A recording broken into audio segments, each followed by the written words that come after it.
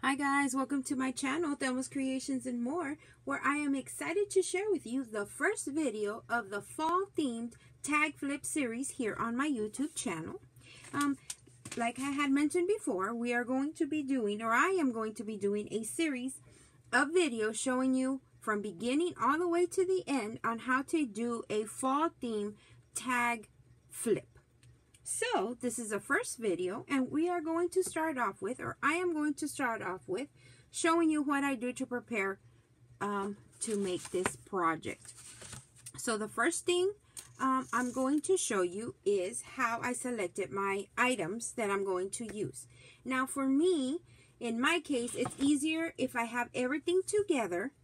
Um, so when I create, sit down to create, I have everything that I need. So on the side of my desk, I have these containers. And they just so happen to be the mint, like um, the mint colored, like the mat that I purchased last week. And they match perfectly. Thank you, Jesus. I call those divine appointments. Anyway, I have picked up these at a garage sale, guys. Yes, at a garage sale. Guess how much I paid for these? Just this right here. I got three of them. Can you guess? Mm, you, over there in the corner. Yeah, you in the ponytail. LOL. Anyway, I got three of these for $1, guys, at a garage sale. And they stack up up on each other. And so now they fit perfectly right there next to my mat. That's a corner of my desk. And the bookshelf over there in the background. What I did was I went through my stash and I went through my um, scraps and paper that I had and things like that. Anything fall color related or that I could use in this project. This is a paper, just different papers that I found. I had some in my stash from last year and so I have cutouts and stuff like that. Um, I put them in the bottom tray. On the second tray, let me stack it on top. Hopefully I won't make a mess. Okay, on the second tray, I went ahead and I pulled out stickers that um, I had, uh, stickers that I purchased recently, anything that would work with um, this fall theme swap, any colors, any paper that I had, I put them here. Okay, so when I'm ready to work, I have everything together. That's the second tray. I'm going to put you down.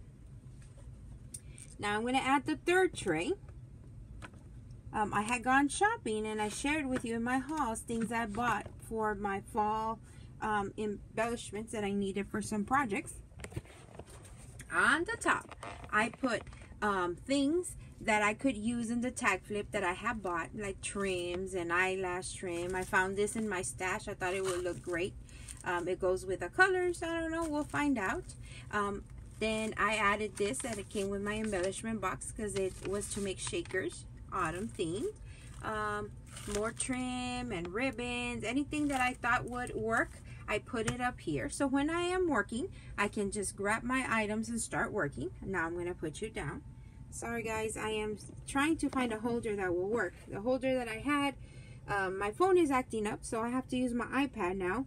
So I'll take any suggestions you can give me on how to maneuver or hang or hold an iPad other than moving it around and putting it on my desk.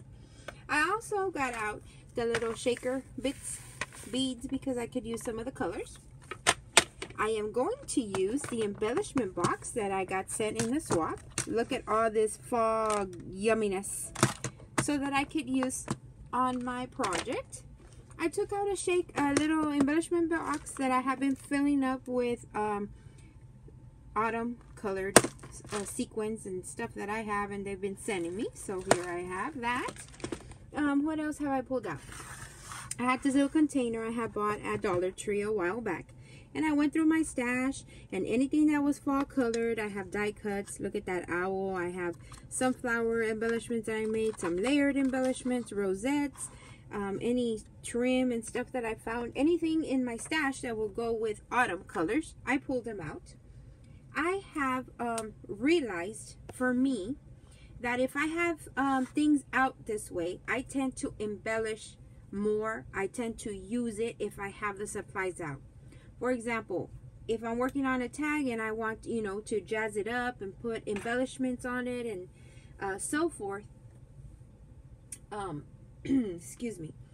I know I have buttons. I know I have clothespins. I know I have ribbon. But then I'm like, where is it? Where did it go? Is it in the bag? Is it in the container? Because I have several things everywhere. I'm also learning to place things um, in categories by seasons. For example, let me see if I have anything left in here. I'm looking in my file cabinet, guys. I don't think I have anything. Aha, yes I do. My husband got me a file cabinet that I have been using and I am organizing my things. So now I have a file that says fall and let's see what I had already gone through my stash and put in here. See, I have forgotten I had bought these guys. Oh my goodness. So let me show you. I have bought some scarecrows. I think they're so cute. See, I have forgot I had these. But I put them in my filing cabinet under fall. So now I have these to play with. I have owls. I thought it went with fall. What else do I have in here? See? It's just a um, as much as an adventure for me as it is for you. Oh, somebody had sent me these in Happy Mail. And these stickers I had used. Where's that little... Ah, I just put it up. I used, look, to make embellishments. The other day, I sat here and made embellishments with things that I had, stickers that I had here. This one says Thanksgiving. Those were the ones that came in there.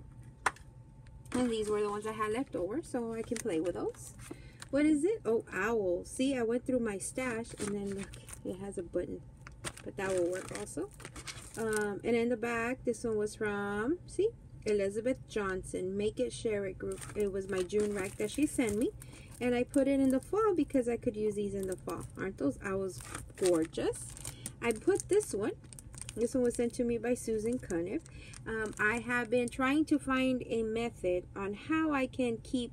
Um, things that people send me in Happy Mail so that when I use them in my projects, I can um, give them credit, right, for sending me stuff and know that uh, for them to know also that every detail, everything that is sent to me, I use. So Susan sent me these and so now I'm writing it on the package. And so I know I have bought these a while back and I forgot. See, sunflowers, I can use that. And then I had this one's from Dollar Tree. I guess I purchased these because I don't have any name. I can use these on my fall tags. See, I had forgotten I had bought this one. A 6x6 paper pad from Tuesday morning. It must have been a while back. I don't remember. And, um, see, so now I can use this on my tag flip. In here, I have put a scrapbook paper that I had laying around. And I had already started making some policy envelopes, which I still need to glue down. But I made some policy envelopes in fall colors so I can package up um, goodies and send them in fall themed um, envelopes or I can just send out a letter or happy mail out in these. So for the first video is gather any supplies that you can think of that will go with a tag flip. Um, anything in autumn colors. Um, like I said, for me, it works better if I have them all out. And this will go in the, the little, in those holders. These stack up nicely. And I'm showing you how I organize my things so that I can have them all here. Put it in there. So now, instead of having it all over my desk, oh, it won't fit. My goodness. Okay. Real life um, ordeals, guys. I put this in the second shelf. Because if you remember, in the second shelf, I just put embellishments and stickers and stuff like that in there. On the third, on the third one, I put paper. Second one, stickers. And then this is more paper. So I'm going to stick it in here. And um, I am using this um, method because before guys I'm gonna be quite honest with you I would put everything that I was working with on top of my desk and then when I had to make videos or if I wanted to craft I had a mess. So now this is what my desk looks like. Um, I have the mat here and then I have those three um, organizers like for paper. And so now I'm going to work on or focus on working on the tag flips. I have two to make for a swap and then I thought I'd share how I do it from beginning to end so now I have my paper here embellishment stickers and trims up here I found this little um, container remember I filled it up so I have the embellishment box and whoa, whoa, whoa, don't fall. Okay, you're not gonna pour. Put it up here. I'm gonna put that there. I'm gonna put this here because I had that doesn't go in there, but I wanted to put it here in the corner. I love it. I picked that up at a thrift store when I went to San Antonio. Uh, actually, the Goodwill. And um, so now I have all that, and yes, it's lumped right there, but it's contained. And look, my mat is free to use. So, I hope that you enjoyed this first video where I get all my stuff out from my stash that I can use in the project that I'm going to be working with. Um, so I encourage you, if you want to craft along with me, pull out your items that you're to need, have them handy, um, if you don't have like these little containers that I have, use a laundry hamper, guys.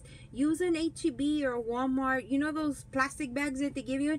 Just stick everything in there so that when you're working, everything's contained in something like a bag, a tote bag, a laundry hamper, um, a, a, plastic shoe box, a cardboard box, um, something that it will contain it. So when you sit down and create, you'll have stuff there um, to do. Another thing you're going to need is just um, one of these. Let me take it off.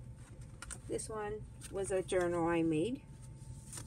But um, you're going to need this little right here.